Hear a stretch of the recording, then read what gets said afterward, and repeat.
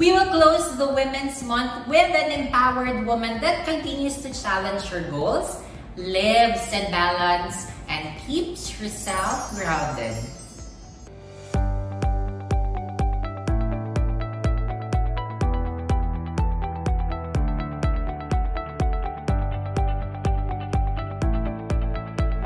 Miss Criza Kalumba. Hi, Miss Criza. Hello, Sir Ken. Thank you so much Thank you for having me. yes to our invitation.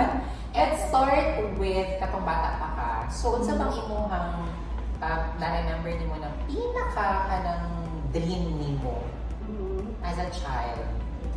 Kung bata pa ko, wala din ko ka ng clear, gani na gusto na ako ma-work when I grow up. I remember sa yearbook na ako tong grade 6, akong libutan dito, I want to be a lawyer. Pero layo kayo sa tinuod. Pero throughout my childhood, nakita ko yun na ako na na ako'y interest in teaching. Kana. So I come from a family of teachers, taghan kong teachers na mga uh, auntie, mga uncles, and diha na ako nakita jud ang importance sa passion ba.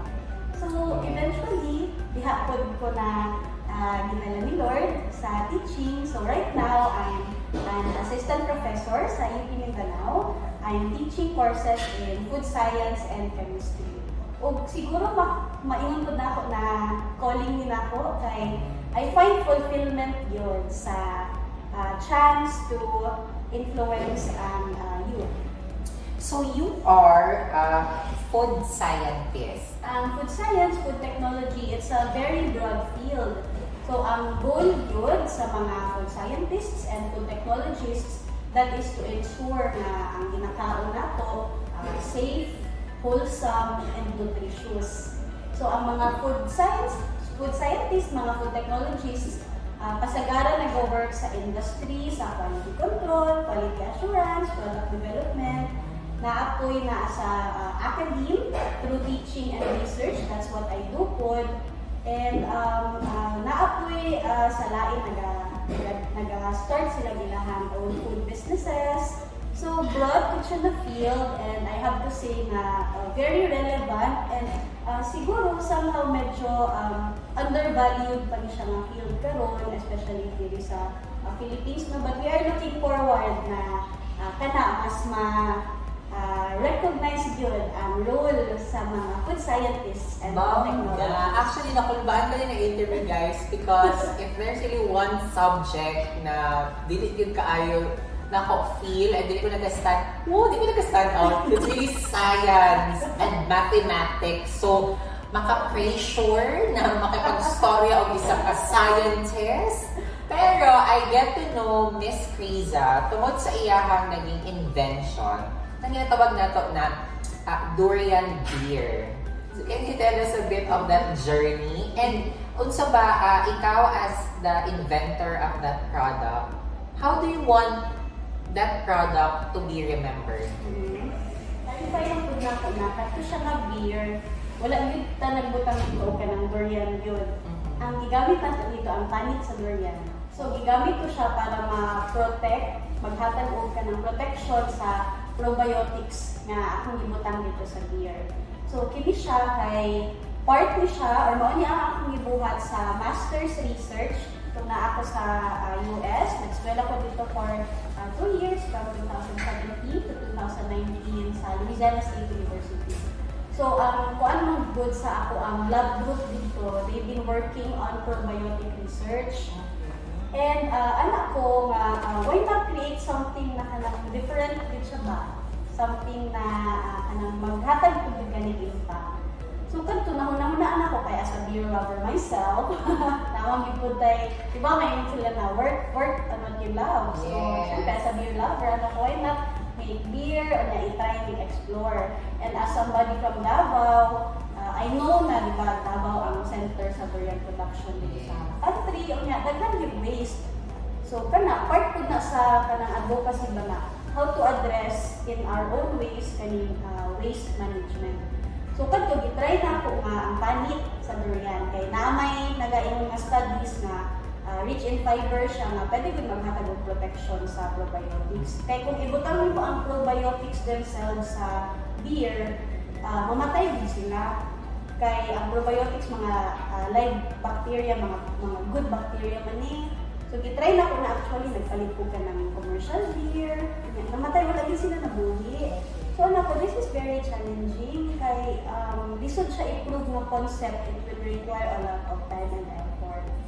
So, uh, thankfully, with all the support po sa akong mga kauban dito, naka, nag, na, nabuhat ng po din siya. And na-share ni Miss Friza na published na daw ang katong iyang research. So, ano na siya, ah, legit na siya nga study, tested, proven na din siya.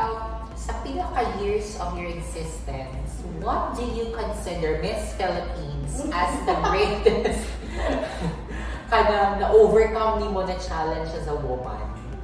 Uh, as a woman, ang makonsider na ko na greatest challenge na na-overcome na ko, uh, siguro personally, it's uh, breaking the stereotype na women are weak.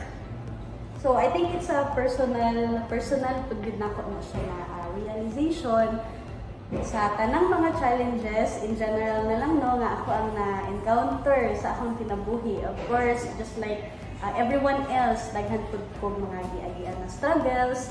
And uh, we know na ang stereotype kay ang mga babae, mga uh, weak, ang anak. Naagi mga ing anak nga tanaw sa to. So, uh, siguro for myself, I am able to break that stereotype pa. So, isa na sa ako ang um, gina gina-uplift yun no nga sa ako ang sarili ang pagiging uh, strong, resilient nga maski unsa may mahitabo kaya gyud sa babae.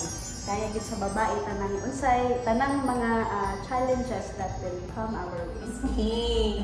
Enlighten us about this ano innovation sa milk tea. Uh, so kini nga mo ang product no uh, this is called the Tea Culture PH uh, probiotic yogurt milk tea Probiotic So, yogurt milk. Ni abot na yun sa anak nga level ang milk tea. Okay. So given ang katong ako. Ang interest no sa uh, probiotics and ang ang um, interest po sa mga Pilipino sa Na-interrupt si Mas yung pag-answer. ang interest po sa mga Filipino sa um, milk tea in general uh, dito na mo naisip no na uh, why not develop something na uh, appeal po sa among advocacy na maka-introduce og healthier option ang ako ang kauban ani nga business si uh, Miss Josie Gilabtan as well as tong uh, source food namo sa yogurt. Ako ang classmate sa una sa food tech pod si Miss Mylene Arsena. Uh, by the way, ang kananyo kay uh, ang by, ang among gamit na yogurt is real yogurt gid siya nga bacteria and milk, no sugar, no added preservatives. So ang uban kanang pag first sip, syempre you will really feel the yogurt. So, Ay, wala siya. uh, Ano? Kani nga mo ang kakao mag uh, bestseller pud na mo di kay mag-complement gid ang kaning kakao and the uh, yogurt. So kana siya uh, part pud sa amo ang mission no nga kanang support locally produced ingredients such as kaning amo ang uh, kakao na ginagamit it's from a source na dili Davao farmers gud na siya. Part of our mission yun na ma-communicate unsa ang benefits sa among product. So kana ang science communication, makahatag og healthier option sa mga Filipinos who are really milk lovers. Instead of uh, burger or fries, ang imong pwede i-partner sa inyong um, yogurt milk tea, no again. Because again, this is well-researched and science-based. That's why isa sa mga perfect complement sa yogurt milk tea is ang pita bread with hummus and yogurt sauce. Man, napilawan na ako siya, guys. Hummus kay protein rich ni siya. It's made of chickpea o daghan pa na siya lain-lain na spices. So naapod ko a friend na nagabuhat ang amo ang hummus and ang amo ang yogurt sauce. Um, it's the same yogurt na ginagamit namo sa milk na ginaatiplahan ng food namo. So we can still say na probiotic food siya kay wala man namo siya gi uh, exposed to uh, any harsh na condition no. So freshly prepared pod ni. So, mauli akong gina um, pare sa milk tea kay um, it's something na um, new. Siguro dili pa kaayo Super siya. new. Dili pa kaayo siya unusual. ano, kung ano sa Filipino nga market. So, isa po na uh, maka uh, of something novel and uh, healthy. all your achievements, Miss Kay, uh, education-wise, sa imuhang business karon, with all your experiences, do you believe that you are already the person you dreamt to be when you're still a child? Uh, when I was still a child, siguro wala ko ka ng uh, specific na persona na gusto gyud ma-achieve no when I grow old. Um, even karon sa tanang blessings na gihatag gihatag ni Lord no kay I still acknowledge gyud the need to continuously grow. So um kana nga uh, I believe na ang gyud purpose ni tanan. So um, uh, in the future, hinaut-unta nga kung unsa pay mga uh, blessings that will uh, come my way. Um, kana no ang ako ang gusto gusto, gusto kay maka difference and uh, I think mo na siya ang siguro measure of uh, success na kana maka makatabang sa uban, maka uh, promote sa ato ang advocacy. In fairness, makabusog ang milky with yogurt na dili mag-bloat na imong tiyan. And at the same time, mabusog jud ka sa wisdom. So, from an experienced woman, an empowered woman like you, why should the youth really focus on what matters? It may sound cliche, no? Pero nagatuod ko na the youth are the future of our nation. Or ang future yun sa tibuok na kalibutan. So, ang mga bata karon they have a lot of resources and they can make use of uh, these resources, no? Tanang mga innovations, technological innovations, para mas ma-improve pag yun ang situation, not just in the Philippines, but in the world. Kay, um, kana, no, they should focus on what matters to them. Important na uh, whatever you do, you do it from the heart. And sa pagkabata pa lang, uh, nindot o ma-inculcate na na sa ilaha. So, tinuod no nga naang daghan ng mga uh, distractions, but at the same time, these resources can be put to good use sa ato ang mga bata. Kay sa tanang mga nagapangitabo sa kalibutan karon, naga nagabilib gud ko na um, if you want to change something for the better, we have to start with the youth. Speaking of uh, the tea culture, let's spread this, ano, let's spread this good bacteria. Uh, inom muna to ang mga good bacteria na kailangan sa itong mga bodies. So Let's everyone, we are inviting you to visit our shop, the Tea Culture PH. We are located at MS Land Complex, fronting Toyota Matina sa uh, Davao City. And we are also already open sa branch namin sa Tagum City. And uh, we are located sa uh, Suway Baguio Street, just beside uh, Backfill Planter. So along the highway lang din po.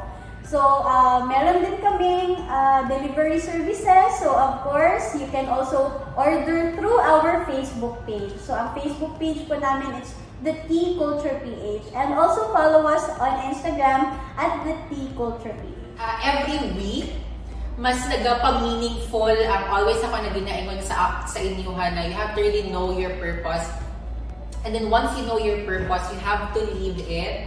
And then let's spread joy, let's spread hope, and let's spread love, love, love. Stay safe, everyone. Bye. Thank you, Miss. Thank you!